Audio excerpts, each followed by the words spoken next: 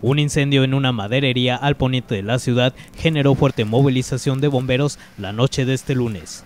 Las llamas se encontraron consumiendo los tablones y materiales al interior de una maderería de la calle Josefa Ortiz Domínguez en San Juanito, Itzícuaro.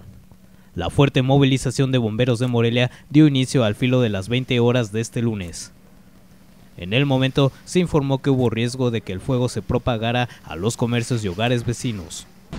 Bueno, a las 20 con 28 minutos de la noche de este lunes recibimos el reporte por parte de C4 donde nos reportaban el incendio de un comercio, aparentemente una maderería al momento de arribar las primeras unidades que se trasladaron de la estación que se encuentra junto al Estadio Morelos. Eh, vimos que era un taller de carpintería con algunos solventes y algunos químicos y ya se inició de inmediato las operaciones contra incendios.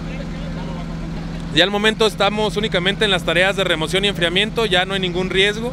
Hacia la zona sur de la zona de la, empresa encontrábamos algunas casas de construcción de cartón y madera, las que corrían riesgo. Eh, establecimos una línea cortafuego por parte de bomberos y ya ahorita se encuentra sin ningún riesgo al momento. No tenemos ninguna persona lesionada, no tenemos ninguna víctima humana. De igual manera, Protección Civil Estatal arribó al lugar y combatieron al fuego. Con imágenes de Leopoldo Hernández e información de Cecilia Sierra, Agencia Cuadratín. Grupo de Oro presentó